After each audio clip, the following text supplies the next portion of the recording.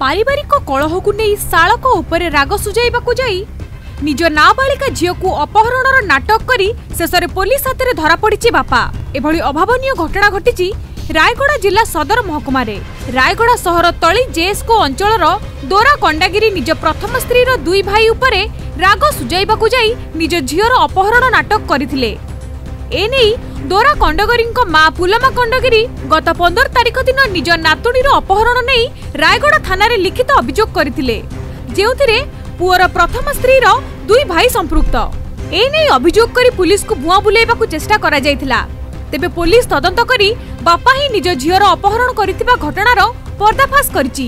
ଆମର Rayagada town police ଷ୍ଟେସନରେ ପନ୍ଦର ତାରିଖ ରାତ୍ରି ଗୋଟେ କେସ୍ ରେଜିଷ୍ଟର ହେଇଥିଲା। ତିନି ବର୍ଷ ଝିଅ ତିନି ବୟସ ଝିଅ ଜଣେକୁ କିଡ଼ନାପିଂ ହେଇଛି। ଏମିତି ଗୋଟେ କେସ୍ ରେଜିଷ୍ଟର ହେଇଥିଲା।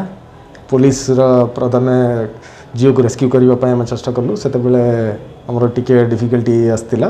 ତାପରେ ଧୀରେ ଧୀରେ ଆମକୁ ତଦନ୍ତରେ ଜଣାପଡ଼ିଲା ଦ୍ୟାଟ୍ ଯେ ମିସିଂ ଝିଅ କିଡ଼ନାପ୍ ହେଇକି କହିଲା ସେ ଝିଅର ନିଜ ପାପା ସେ ଝିଅକୁ କିଡ଼ନାପ୍ କରିକି ଗୋଟେ ଜାଗାରେ ଲୁଚିକି ରିଭେଞ୍ଜ ପାଇଁ ଆଉ ଦୁଇ ଲୋକକୁ ନାଁରେ ସେ କେସ୍ କରିବା ପାଇଁ ସେ ଚେଷ୍ଟା କଲା ସୋ ପୋଲିସକୁ ବି ମିଛରେ କେସ୍ ଦେଇକି ସେ ନିଜ ଝିଅକୁ ତା- ସେ କିଡ଼ନାପ୍ କରିକି ଗୋଟେ ଜାଗାରେ ଲୁଚେଇ ଦେଲା ସେ ଆମେ ଖବର କାଟିକି ଜାଣିଲା ପରେ ସେ ଝିଅର ପାପା ଯିଏ ଅଛି ମେନ୍ ଆକ୍ୟୁଷ୍ଟ ନାଁ ଅଛି ଦୋରକାଣ୍ଡଗିରି ସେ ଆଉ ତାର ଆଉ ଜଣେ ସାଙ୍ଗ ଦୁଇ ଲୋକ ଗିରଫ ହେଇଛି ଗୋଟେ ବାଇକ୍ ମଧ୍ୟ ସିଜ୍ ହେଇଛି ଆଉ ତଦନ୍ତ ଚାଲିଛି ଆଉ ଆଉ କାହାର ଇନଭଲଭମେଣ୍ଟ ଯଦି ଥିବ ତଦନ୍ତରେ ଆଉ ଜଣାପଡ଼ିବ। ଯେଉଁ ଦୁଇ ଦିନରେ ରେସ୍କ୍ୟୁ କରାଗଲା ବର୍ତ୍ତମାନ ଝିଅ ଭଲ ଅଛି ତାର ବ୍ଲଡ୍ ରିଲେଟିଭ୍ସକୁ ଦିଆଯାଇଛି।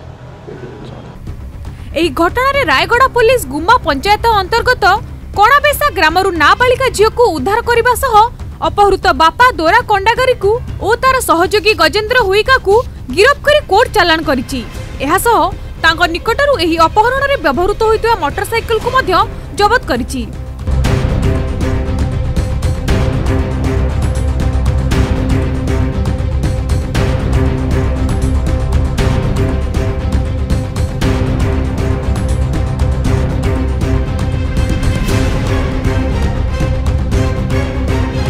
ଉଦ୍ଧାର ଶିଶୁକୁ ତାର ନିଜ ପରିବାର ଲୋକଙ୍କୁ ହସ୍ତାନ୍ତର କରିଥିବା କହିଛନ୍ତି Rayagada SP doctor Sarvana Vivek M.